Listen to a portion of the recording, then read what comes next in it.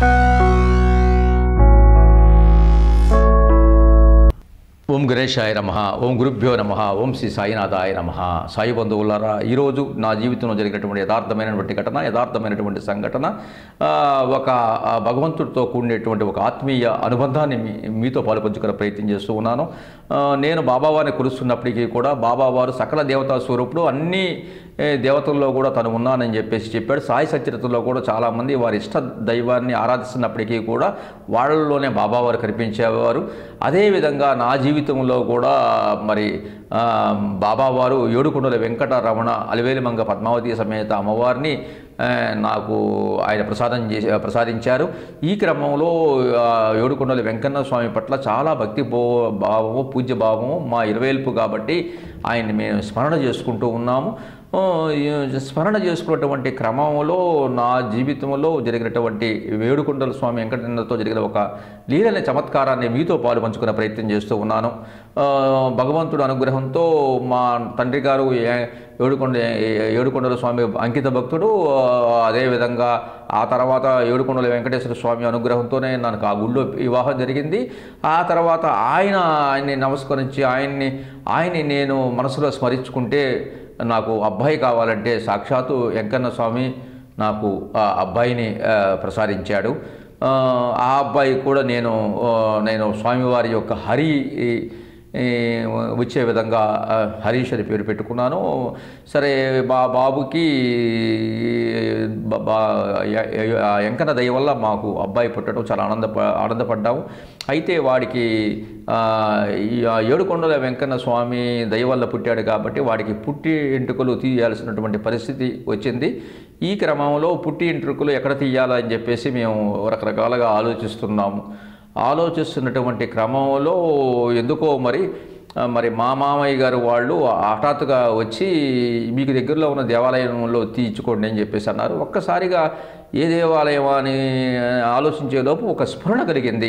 మనకి దగ్గరలో ఏడుకొండల వెంకట వెంకటేశ్వర స్వామి సాక్షాత్తు కలిగ వైకుంఠమైనటువంటి తిరుమల వెళ్ళే పరిస్థితి లేదు కాబట్టి మనకి దగ్గరలో ఉన్నటువంటి చిన్న తిరుపతిగా వ్యవహరిస్తున్నటువంటి వైకుంఠపురం అని చెప్పేసి తెనాలికి తెనాలి ప్రాంతంలో ఉంది.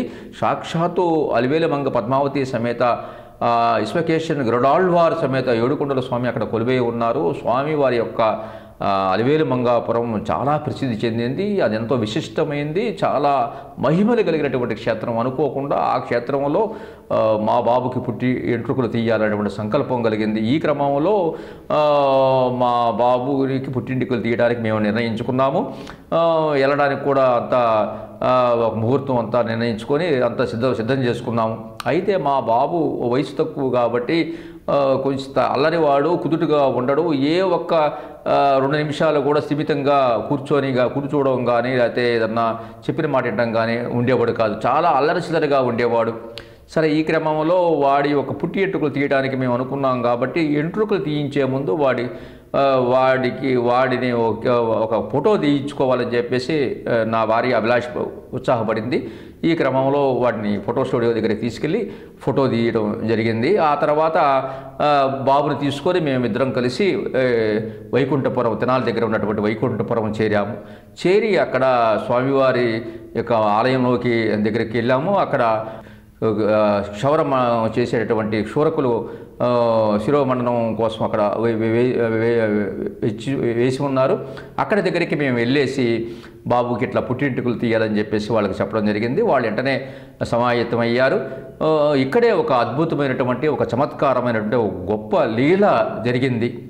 విచిత్రం ఏంటంటే మా బాబుకి పుట్టి ఎంట్రుకలు తీయడానికి ఎంత గొడవ చేస్తాడో ఎంత అల్లరి చేస్తాడో ఆ కత్తి వాడి నెత్తి మీద పెడితే బాగా ఏడుపు లెక్కిస్తాడు అసలు ఎంట్రుకలు తీయించే అవకాశం దొరకదేమో. మామూలుగానే అల్లరవాడు వాడిని కూర్చోబెడతాం వాడిని సముదాయించడం మా వల్ల వద్దా అని చెప్పేసి చాలా కంగారు చాలా ఆశ్చర్య ఆశ్చర్యపడుతూ చాలా ఇబ్బంది పడుతూ ఉన్నాము. ఇటువంటి పరిస్థితుల్లో ఒక స్వామివారు ఎంత ఆశ్చర్యం చేశారంటే స్వామివారు ఆయన మామూలుగా బాబు చొక్కా తీసేసి చొక్కా లాగు తీసి తీసి అతను కూర్చో బాబు అని చెప్పి కూర్చున్నాడు. కూర్చొని ఒక చెయ్యి మా బాబు తల మీద వేసి కాస్తంత నీళ్ళు చల్లని నీళ్ళు వేసి కత్తి తీసుకుని ఉన్నాడు.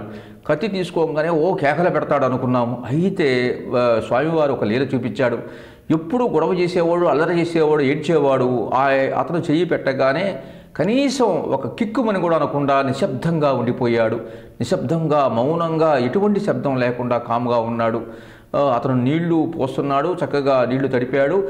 ఆ, క్షోర కత్తితో చక్కగా ఆ యొక్క వెంట్రుకల్ని ఈగుతూ ఉన్నాడు. చక్కటి గుండు ఆకారంలో అతను మొత్తం కూడా పూర్తి చేశాడు. గుండు గుండు పూర్తి గుండు వచ్చిన దాకా బాబు కనీసం ఒక్క కిక్కు ఒక మాట కానీ ఏడుపు కానీ అల్లరి కానీ లేకుండా అట్లా కాముగా కూర్చోవడం మేము ఆశ్చర్యపోయాము. దానికి తోడు అతను గుండు గీసేటప్పుడు ఆ జుట్టు ఎంట్రుకలని అతను గీస్తున్నప్పుడల్లా కింద పడుతున్నాయి. ఆ ఎంట్రుకలు వాడి మీద పడితే చేతితో తీసి కిందకి వేస్తున్నాడు. కిందకి వేస్తున్నాడు కానీ ఎందుకు ఎంట్రుకలు తీస్తున్నామని నేను గొడవ చేయడం అల్లరి చేస్తాం ఏడుస్తాం కానీ ఒక్క మాట కూడా చేయలేదు. ఇది మేము అప్పుడు అనుకున్నాము. ఎందుకంటే ఏడుకొండల స్వామిని ముందుగానే మేము ప్రార్థించాము. స్వామి ఈడు అల్లరవాడు ఈడు పుట్టింటికి తీయించడానికి కూడా కష్టము అది మా వల్ల కాదు నువ్వే దగ్గరుండి అది వాడికి తీయించాలని చెప్పేసి స్వామివారిని మొక్కున్నాము. ఆయన మొర మా మొర అలకించాడము. ఆయన మా బాబు విషయంలో ఇది చాలా ఆశ్చర్యకరంగా ఆ, ఆ పుట్టింటికుల్ని చాలా నిశ్శబ్ద వాతావరణంలో చాలా మౌనంగా ప్రశాంతంగా ఈ కార్యక్రమాన్ని పూర్తి చేశాడు. దాదాపు ఆ తీయించినంతసేపు కూడా ఏమీ బాగు మాట్లాడలేదు. ఆ ఎంట్రుకలను కూడా వాడు చేతితో తీసేసాడు చక్కగా మొత్తం చక్కటి ఆ గుడ్డు కొట్టించి ఆ చన్నీటితో వాడికి స్నానం చేయించి స్వామివారి ఒక మూడు నామాలు పంగనామాలు పెట్టేసరికి వాడిలో దైవత్వం ఏడుకొండల స్వామి నాకు అనిపించాడు. ఇది నిజంగా చాలా అద్భుతంగా ఉంది. అదేవిధంగా మా బాబుకి సంబంధించినటువంటి ఈ ఏడుకొండల స్వామి ఈ రకంగా వాడికి పుట్టింటికలు ఇవ్వడం కూడా మా జీవితంలో జరిగినటువంటి ఒక గొప్ప అద్భుతమైన చమత్కారం లీలగా మేము అప్పుడప్పుడు జ్ఞాపకం చేసుకుంటూ ఇదంతా కూడా సాక్షాత్తు ఆ దత్తప్రభు సాయినాథుడు ఆ అలివేలమంగ పద్మావతి సమేత ఏడుకుటల వాడి యొక్క లీలగా మేము అనుకుంటూ వారి కృపా కటాక్ష విషయాలు కూడా మీ జీవితంలో కూడా కలగాలని ఆశిస్తూ ఆకాంక్షిస్తూ సర్వేజనం సుఖిన భవంతు ఓం శ్రీ సాయిరామ్.